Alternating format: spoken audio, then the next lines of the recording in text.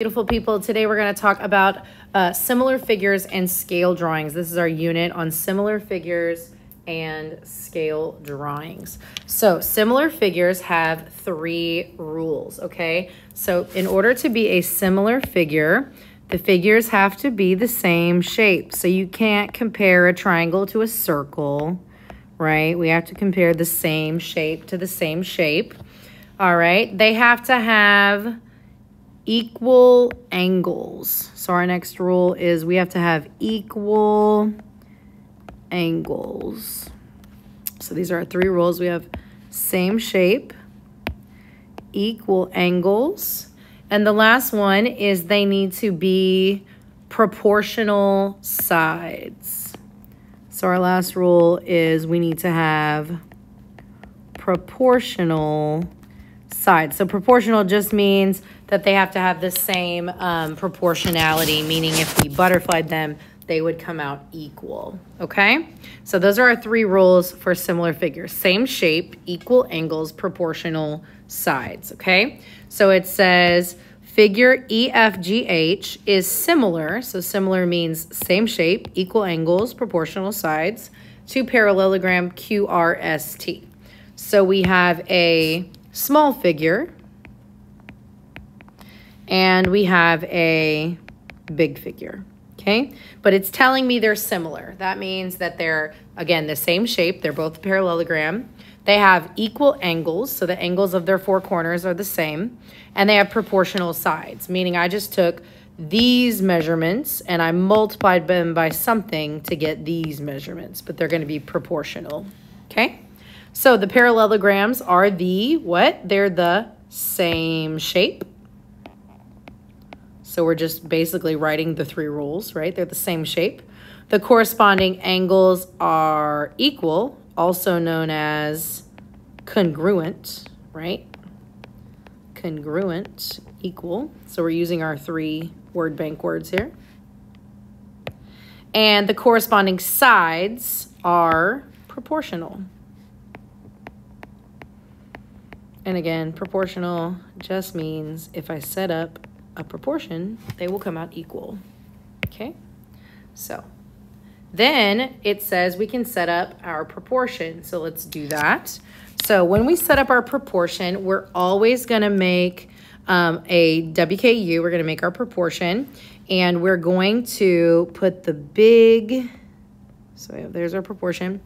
We're going to put the big figure and then the small figure. So we're always going to start with our large figure. Okay? And so when I look at my large figure, I have some sides, so like RS, right? And so I'm going to write RS. Let's change to blue here. And so that's just this side right here, side RS. Okay? And then on the small figure, which side matches? Which side matches? Well, you can see that they're they're rotated in the same way. So what would match would be FG. Okay? And then let's pick another side. So on my large figure, let's do ST. And then what would match? Well, we would match that with GH. Okay. And again, all I did was I just corresponded. Now, what if the figures were rotated or something and they could you couldn't tell which one matched? I'm going to show you the trick for that. It's really easy.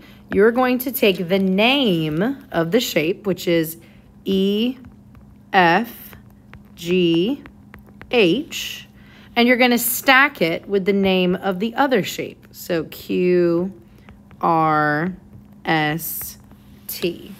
And then from there, you can just match them. So you can say, oh, I had side RS. So RS was here in the middle. What did we match with it? FG. Oh, look, that's in the middle too. So if you're ever confused, like these two will match, right? This corner will match this corner. This corner will match this corner, so on.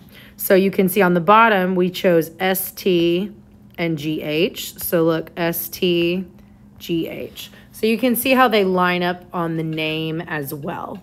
So is there a different way we could set up our proportion, our WKU. Absolutely, there's lots of different ways we can set them up. We're still to follow the the strategy of the big um, shape first and then the small shape.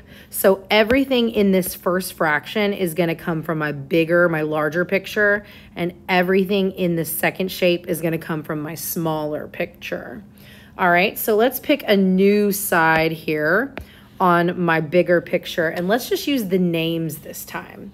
So I think this time on my larger picture, which is QRST, uh, I think I will use QR. So I'm going to box QR. Okay, and I'm going to ask myself, what would match that? Well, on the smaller shape, I would use EF. All right, and then if I was to, let's say, um, choose maybe, let's do QT, right? QT. And so if I use QT, it's going to kind of hard to see. Hold on, let me trace that. QT, right, which is this outward arch. Well, I would do the exact same thing on the smaller one. So that would be EH. And so you can kind of see how stacking the names helps us match up the sides, okay? So again, both of these proportions are really equivalent. They're the same. They're going to get you the same answers, the same proportionality. We just use different pieces of the shapes. As long as we match up the sides that match the other sides, it doesn't matter. Okay? All right, so let's talk about angles. So that was talking about sides. So now we're going to talk about the angles. So the angles are just the corners, right? So that's angle F, or this is angle H, or you have angle S or angle Q, right? And so all we're gonna do is we're just gonna match those angles up and we can still use our, our name strategy here, just stacking them. So I'm gonna rewrite my names down here at the bottom just so that it'll help me um, write them closer. So E, F, G, H. And you'll notice I have to write it in exactly the same way it's written here. E, F, G, H, E, F, G, H. All right, same thing here, QRST, QRST. So now it's easy to match my angles. So what if I asked, what is the coordinating angle for angle F? Well, what matches angle F? Well, that would be angle R. So that's representing angle R. What if I asked for the match for angle H? Well, angle H would be angle T. So you can see that no matter what, we can use our name matching, our name stacking to kind of coordinate and match up angles and sides, etc. All right, so the big thing we're remembering today is that similar figures have the same shape, they have equal sides, and they have proportional, I mean, proportional sides and equal angles. I apologize. Okay, those are my rules. Same shape, equal angles, proportional sides. And we're going to use lots of proportions to solve the next couple of days. That's similar shapes.